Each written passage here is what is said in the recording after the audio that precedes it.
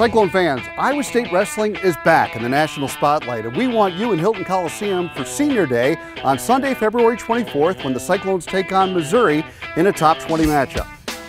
Coach Dresser is challenging Cyclone Nation. He wants 10,000 fans for this final home duel. And Cyclone fans, nobody rises to a challenge quite like you do.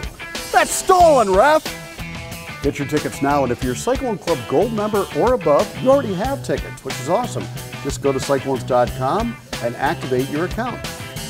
And for general admission tickets, crowd pricing means that the more and more people jump on board, the more the cost of your ticket goes down. I'll take 200, please. Now, if you already have tickets and can't use them, be sure to share them with a friend or transfer them.